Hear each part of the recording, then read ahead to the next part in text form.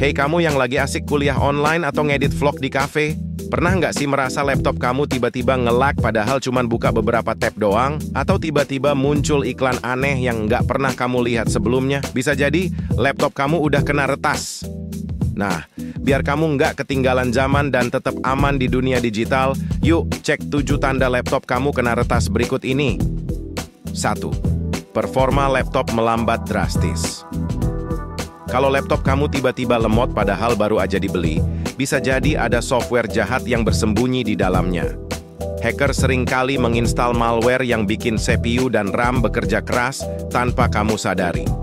2. Munculnya program yang tidak dikenal. Pernah lihat aplikasi asing muncul di laptop kamu? Itu tanda jelas kalau ada yang mengutak-atik laptopmu hacker sering kali menginstal program untuk memantau aktivitasmu atau mencuri data penting.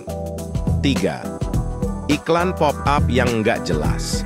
Kalau kamu tiba-tiba dibombardir iklan pop-up padahal nggak lagi browsing situs abal-abal, itu pertanda ada adware di laptop kamu. Adware bisa bikin pengalaman online kamu jadi nggak nyaman dan bahkan berbahaya. 4.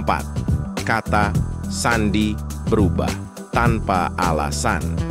Bayangin kamu nggak bisa login ke akun media sosial atau email karena kata sandi udah diganti. Waduh, itu sih jelas-jelas kerjaan hacker. Mereka bisa akses semua data pribadimu dengan cara ini. 5. Aktivitas online yang mencurigakan. Kalau kamu dapat notifikasi login dari lokasi yang nggak pernah kamu kunjungi atau ada transaksi mencurigakan di akunmu, segera cek keamanan laptopmu. Ini tanda bahwa hacker udah punya akses ke informasi penting kamu.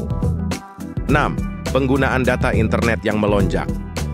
Kamu merasa kuota internet cepat habis padahal nggak sering streaming atau download file besar. Bisa jadi ada malware yang bekerja di latar belakang, mengirim data dari laptop kamu ke server hacker. 7. Pesan keamanan palsu. Pernah dapat pesan yang bilang kalau laptop kamu terkena virus dan minta kamu download software tertentu? Hati-hati, itu sering kali adalah jebakan untuk memasang malware lebih lanjut di laptop kamu. Jadi, apa yang harus dilakukan? Kalau kamu menemukan salah satu atau lebih dari tanda-tanda di atas, segera ambil tindakan.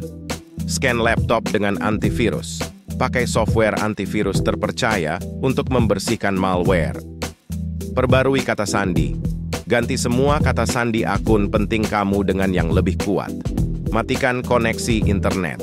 Kalau perlu, putuskan koneksi internet untuk menghentikan aktivitas hacker sementara. Hubungi ahli IT.